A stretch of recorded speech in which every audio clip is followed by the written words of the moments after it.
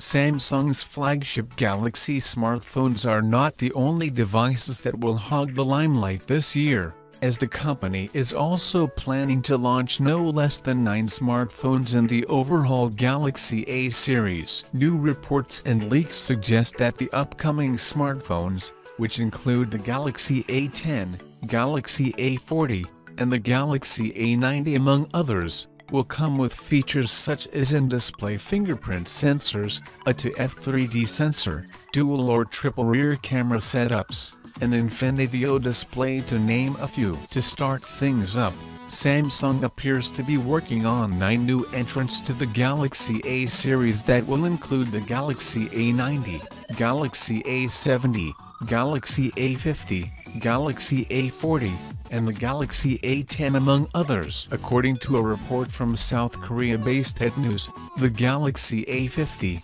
Galaxy A70, and the Galaxy A90 will come equipped with an optical in-display fingerprint sensor based on the technology developed by Taiwan's Egis Technology, while MCNEX and Partron will share the manufacturing responsibilities for the modules. Another smartphone, called the Galaxy A80, is also in the pipeline and might be launched later this year. The report further states that the Galaxy S10 series will feature an ultrasonic and display fingerprint sensor while the Galaxy A series smartphones will sport an optical module. Additionally, Samsung will equip the upcoming smartphones will dual and triple rear camera setups alongside a ToF 3D sensor used for assessing the spatial gap between the sensor and the object in focus to deliver better bokeh effects. The first wave of Galaxy A series smartphones is expected to be announced in the second quarter of 2018. Additionally,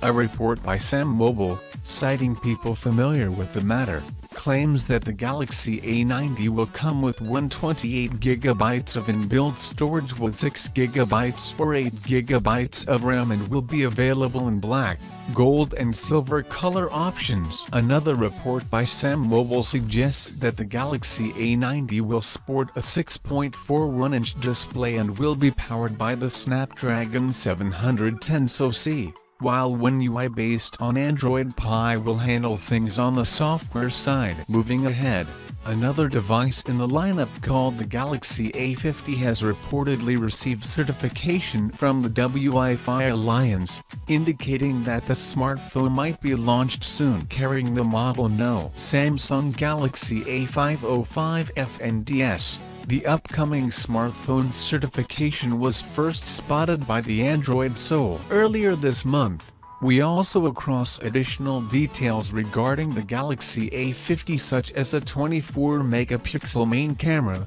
a 4000 mAh battery, and an Exynos 9610 SoC paired with 4GB of RAM and 64-128GB of inbuilt storage. The Galaxy A40, Yet another member of Samsung's upcoming Galaxy A lineup, has been spotted on Geekbench carrying the model No SMA405FN. The Galaxy A40s listing was first was first spotted by SamMobile and revealed that the upcoming smartphone will be powered by the Exynos 7885 SoC paired with 4GB of RAM and will run Android Pie. The smartphone will reportedly be launched in a host of European markets which include UK, Poland, France, and Germany among others, however, a definite release date is not known.